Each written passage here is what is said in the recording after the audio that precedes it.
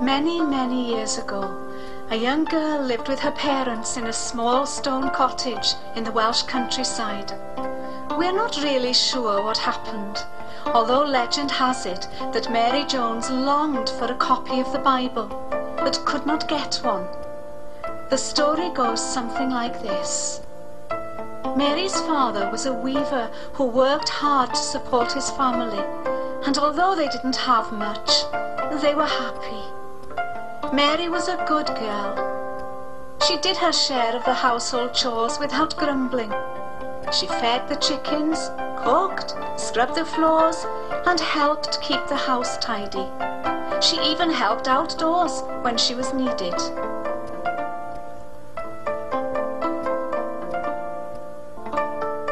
On Sunday mornings, Mary and her parents, dressed in their Sunday best, walked to the little chapel in the village two miles away.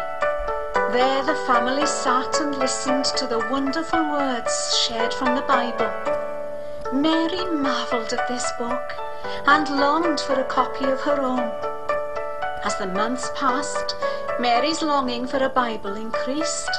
I must have a Bible. I must have a Bible, she begged her parents. But her father explained gently, Mary, you know Bibles are expensive, and your mother and I haven't much money. Mary did know that, and so she was going to save up for one, no matter how long it took. I'll do jobs for other people. I'll save all my pennies. I'll do anything just to have my own Bible, she thought. And that's exactly what Mary did. For six long years she saved all she could until the day came when she had enough money to buy a Bible. She went to tell her parents, and then they all told her teacher what she'd done. He explained that there was a man in a town called Bala who had a number of Bibles. Mary, now 15, told her parents that she was going to walk to Bala. Her father protested. Mary, that's nearly 25 miles away. But there was no changing Mary's mind. She'd waited too long for that. So, with her purse of money and some bread and cheese tied up in a bundle, she set off. The journey to Bala seemed endless. Mary followed many paths, crossed valleys and streams, and found her way around hills. Her weariness grew, and her aching limbs seemed almost too much to bear. But the thought of owning her very own copy of scriptures spurred her on. Eventually she came to the brow of a hill, from which she could see the edge of a town. Dusk was falling, and candlelight had begun to flicker in cottage windows. Mary's heart pounded with excitement.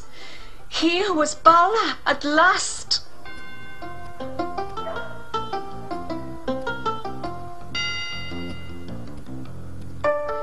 Mary had been told to find a well-to-do gentleman called Mr. Charles.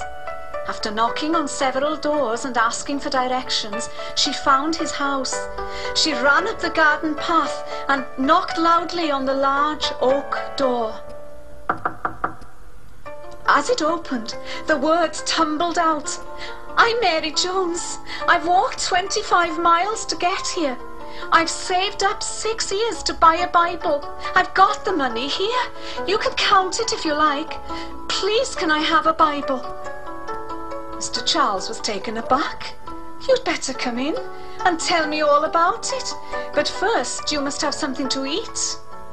He smiled kindly and beckoned the housekeeper to take her into the kitchen, where she was given food and shown the Bible. After she'd eaten, she told Mr. Charles everything, and he was greatly moved by all she had done. You are fortunate, he said, holding up the Bible. This is the last one. Mary stared at the Bible for a long time before taking it into her hands and thanking him with all her heart.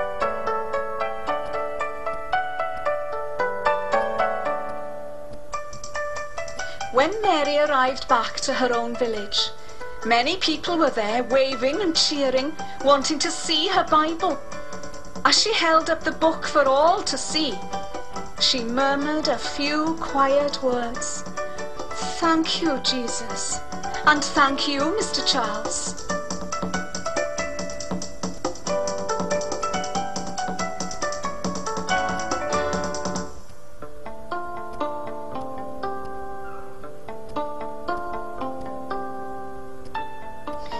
Mr. Charles had watched the young girl until she had disappeared over the hill.